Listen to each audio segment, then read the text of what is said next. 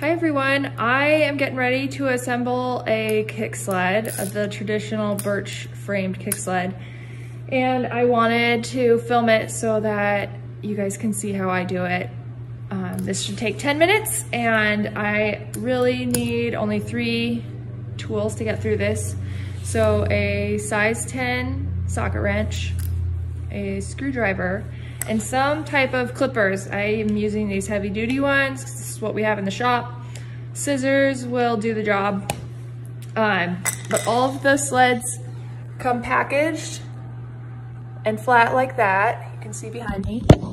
The sled I'm assembling today is a T7. So I will get started. You just have to open up the packaging. It's a pair of scissors is where this comes in handy here. And then their cardboard is stapled, so you just want to pop it open at these staples and be careful not to cut yourself on them.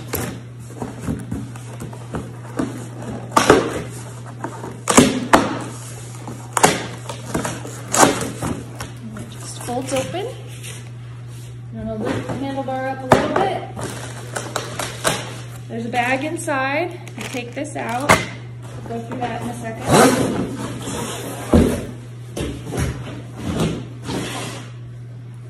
So this bag that comes in there includes footrests. So there's two footrests and a reflecting arm that folds out. We're gonna put these on at the end of the assembly process. So the first thing that I do is lift up the seat.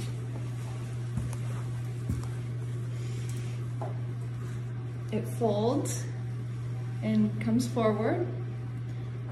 Then the next thing I do is lift up the main part of the sled. And I put my feet on the footrest while doing this loosen it up a bit. The next thing that I do, if you guys can see this, um, is you undo these wing nuts. They do come all the way off. I don't take them off and you push them forward and fold, bring this seat back, fold these legs down. And this seat is gonna line up with these wing nut bolts. You may need to adjust them. And then you may need to pull the handlebar back a little bit or forward, whatever it takes to line these up. And then I tighten it up a little bit. And then the next thing I do is these carriage bolts on the sled here need to be taken off basically. And you need to um, do the top one, not the bottom, but the top one here. This is where I use the size 10 socket wrench. And just take these off.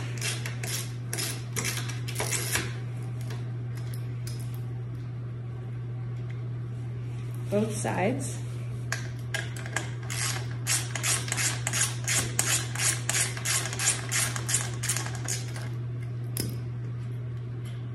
Okay, so then these legs that were loose earlier, you wanna bring them back and line them up. And you can see I'm totally not even close here. So what I need to do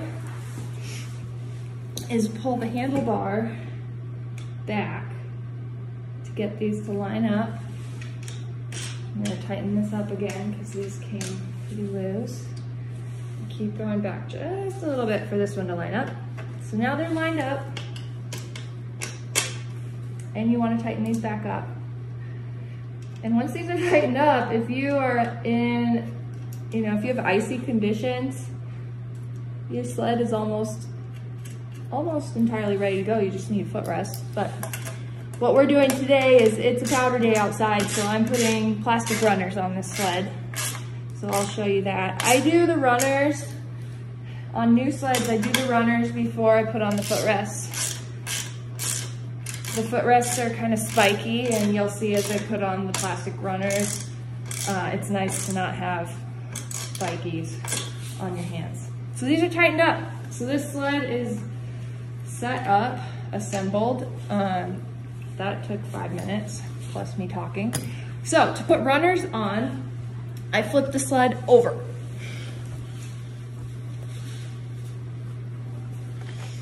Like so. Try and scoot back so you can see it. Maybe, maybe I move the camera back.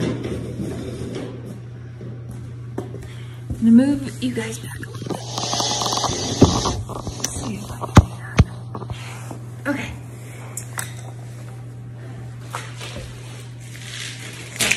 The runners come in this plastic bag. This is another time for snippers because they are taped on one end. So without doing anything to the runners, just get this tape off of here. The runners come with zip ties already. So you can see they're already on there. And those zip ties are gonna go through a hole up at the top of the steel runner. And the trick to that is when you're putting the runner on to run the zip tie through and have the zip ties, when you're done, the zip tie extra material should be pointing at one another on the inside of the sled. The reason I do that is because at the end you're gonna clip the extra material off and it just becomes like a sharp edge and um, that'll catch on things. In particular, from experience, it's caught on my arm when I've been putting it in a car just because I accidentally did it the wrong direction. And I just recommend pointing them inside the sled where they're not going to have that problem. So you can basically, you clip it on at the top and then I clip, like I snap it on a little bit more here and then yank on these zip ties, make sure they're nice and tight. That one's set.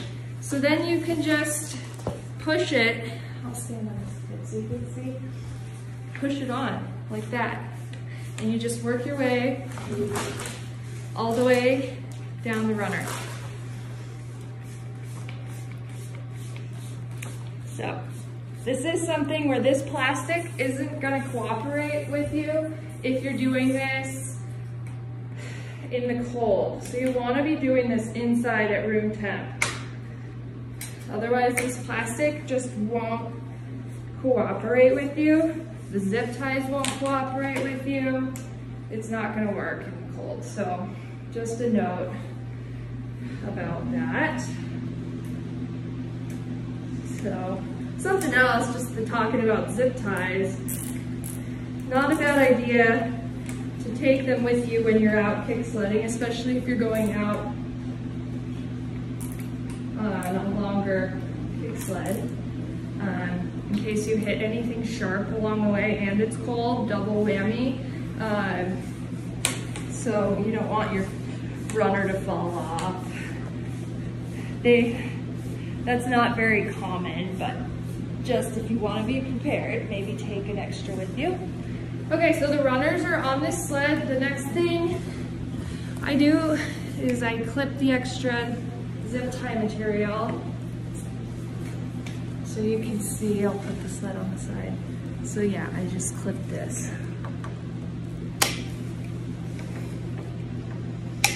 And that's set. Okay, so the next thing I'm gonna do is throw on the footrest. So I don't have an exact science to this, but I recommend you stand on the footrest or stand here and imagine you're kicking where your feet are gonna land. So about here. And these just snap on as well. And also, this is what I was talking about with them being pointed. So these can be taken off and moved on the trail.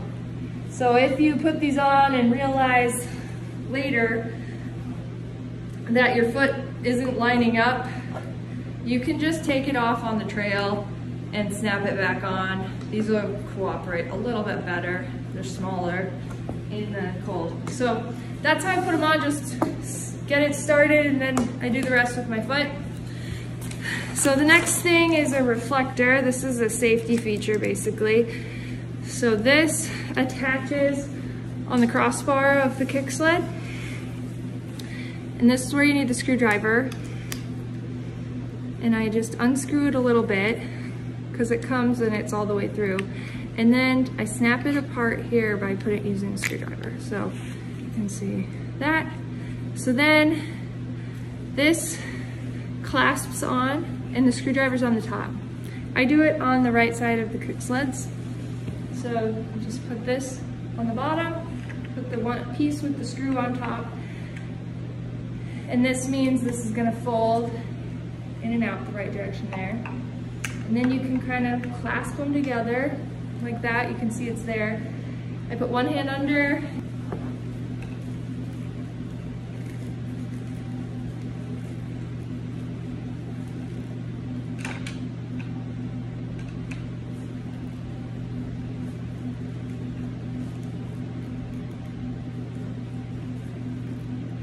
Okay, so that's really tight fit.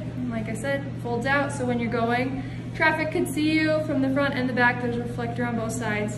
When it's not in use, and when you're about to fold up your sled, you always want to fold that in. Otherwise, if you were to fold down your sled um, over time, if it just it ends up bent. Okay, so that is an assembled sled. I am gonna be sending it out the door, so I'm going to be unfolding the sled. So at the very end, this is, um, what you wanna do is undo these wing nuts, push them forward. You might need to wiggle the handlebar a bit, lift that seat up. I don't know if you can see that very well, but, and then it folds down, like so. And it's good to go. All right, thanks.